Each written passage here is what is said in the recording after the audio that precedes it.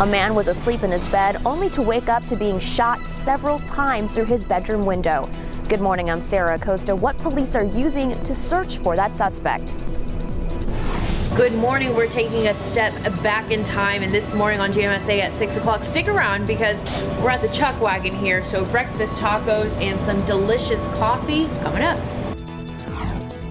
And we had an interesting night here in South Texas. Sleet, snow, weird white stuff, all sorts of craziness. Mike has your Thursday forecast coming up. Live from KSAT 12. Good morning, San Antonio starts right now. And if you blinked, you missed it. Good morning, everybody. It is Thursday. It is February 6th. Thanks for being with us this morning, everybody. Hopefully, you were up late enough to see some of that snow and graupel and whatever sleet that came down.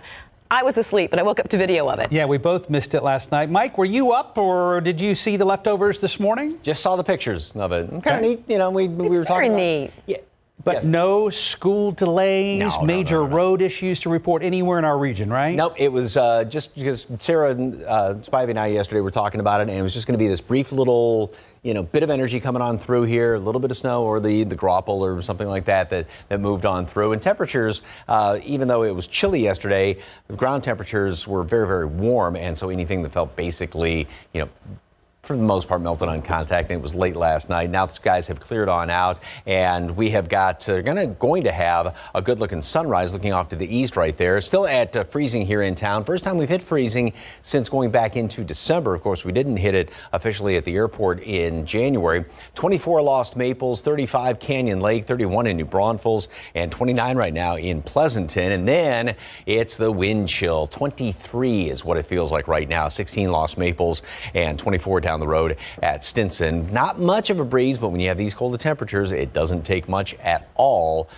And Mountain Cedars on the high side. It's going to be interesting to see what happens when the uh, updated count comes out in about an hour. Mold should be dropping down, hopefully, with the uh, drier air in place. Temperatures, I think we dropped down a couple of more notches this morning, and then we're going to have lots of sunshine throughout the day. It's going to be a good looking day, but it's going to be jacket and coat weather all day long. We'll make it up to about 50 today at noon, and then continue and top out at 55. So about 10 degrees below normal, but again, a nice looking day. Now, temperature is going to cool off very quickly again tonight.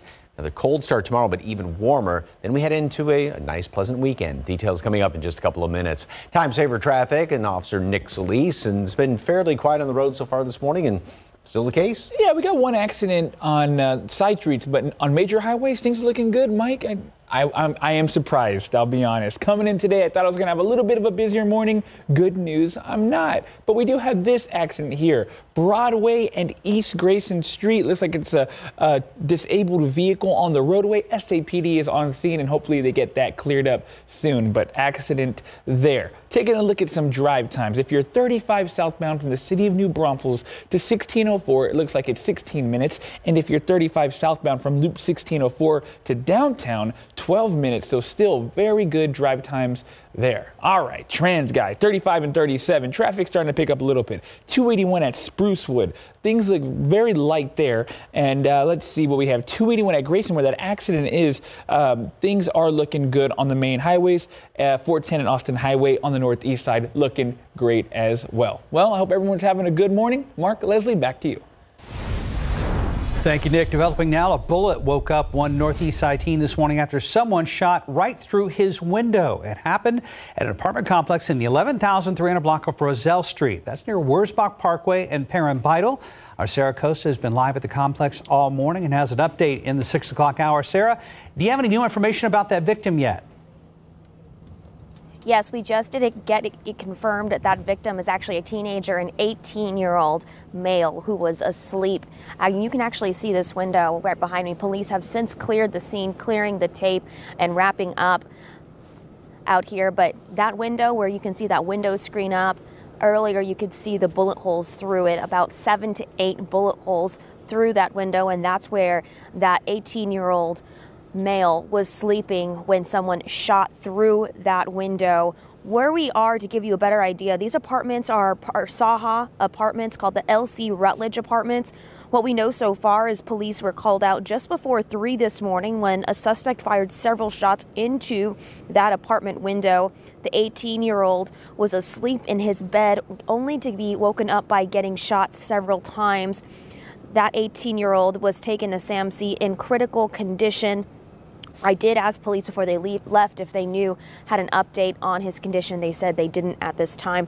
As for the suspect, the suspect fled. Police are still trying to gather evidence um, to figure out exactly who this possibly could have been. They are using some of the neighbors' cameras, video surveillance, to see who that suspect possibly could have been. Any clues in that video surveillance? Live from the Northeast Side, I'm Sarah Acosta, KSAT 12 News. Mark and Leslie.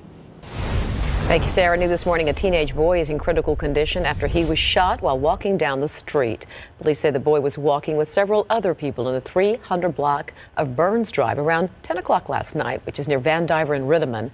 A police sergeant says a car drove by. Someone inside shot into the crowd, hitting the teen. Officers are still looking for suspects. Now to the latest on a carjacking near 35 in Rittiman last night. Police have arrested two people in connection to the taking of a vehicle with a two-year-old inside. Police said the child's mother went inside a gas station to pay for gas, but when she came out, her car and the child were gone. Officers and family members searched the area for about 45 minutes and found the car in front of a nearby restaurant with the child still inside. Drove around and, and was able to find the car, and the baby was still in the car. Thank God, the baby was still in the car. Grandmother wants others to learn from this mistake. Keep your baby with you at all times because she says you just never know what could happen. She says she's grateful the baby was found safe. Man accused of sexually assaulting a seven year old boy in a San Antonio movie theater restroom comes to face to face with the child's father. That was the scene in court yesterday. Christopher Branham pleaded no contest to the assault charge and was sentenced to 35 years in prison. Paul Venema has the story from the court. Prior to sentencing, the child's father, who we will not identify due to the sexual nature of the case, told how the attack has affected his son. He is definitely uh, an introvert now. Uh, his uh, grades started to go away. Won't do anything by himself anymore. It's affected our entire family. He explained that the family of seven was at the movies here, which at the time was the Rialto Theater, on May 19th of 2018. His son returned from the restroom and told his mother of the attack. He is just a sexual predator, Your Honor. He has poor impulse control. He uses drugs, he uses alcohol. Ramsey noted that Branham was out on bond in a similar sexual assault case at the time. He asked the judge to sentence Branham to 35 years in prison, which the plea agreement called for. Branham's lawyer asked for probation. It's pretty clear that he is not someone who suffers from pedophilia, but lack of impulse control. We're asking this court to sentence him to probation, Your Honor. I'd just like to say I'm very sorry. Um, if I could take it back, I could. I would. From the judge, a quick reply. I see no reason to do anything other than order that you serve the 35 years. One more thing once he's released from prison, Branham will have to register as a sex offender for the rest of his life. For Good Morning San Antonio, I'm Paul Venema. 608 on your Thursday morning. U.S. Senate resumes its normal proceedings today after voting to acquit President Donald Trump on both articles of impeachment Wednesday. But mixed reactions continue to come in this morning after Republican Senator and former presidential candidate Mitt Romney voted to convict the president for abuse of power. He was the only person to break ranks with his party during the trial. What he did was not perfect. No, it was a flagrant assault on our electoral rights, our national security, and our fundamental values. President Donald Trump is expected to address the impeachment trial outcome later today. Be sure to follow KSAT and KSAT.com for the latest updates. In your morning headlines, the House of Representatives will vote today on a resolution to disapprove of the Trump administration's new Medicaid block grant plan. The plan would let states apply for a waiver to reduce Medicaid spending by converting part of the funding into a block grant.